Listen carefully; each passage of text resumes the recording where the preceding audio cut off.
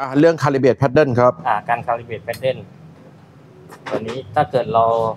ใช้ใช้ไปแล้วตัวนี้เกิดความคลาดเคลื่อนเราดันไปสุดแล้ว หน้าอือฮึจอยังขึ้นไม่สุดอะไรอย่างเงี้ยอืม อ่า เราไปตั้งค่าที่เมนูล่างสุด อ่า pattern calibration ตรงนี้ครับนะครับ อ่า แล้วก็ทำตามที่หน้าจอบอกก็คือเขาบอกให้เลื่อนมาทางขวาสุด อือฮึเสร็จแล้วกดเครื่องหมายถูก แล้วทีนี้เขาบอกให้เลื่อนไปทางซ้ายสุด อ๋อ อ่าก ดเครื่องหมายถูก โอเค อ่าเรียบร้อยครับ อันนี้คือ pattern calibration อ่า เรียบร้อย อีกอันหนึ่งก็คือ pattern setting ปรับแรงดัน ปรับปรับทิศทางกับโอเค แรงดันสูงสุดของผมเอาแค่9บาร์พอ โอเคนะครับไปแค่นั้นเรียบร้อยแล้วครับผม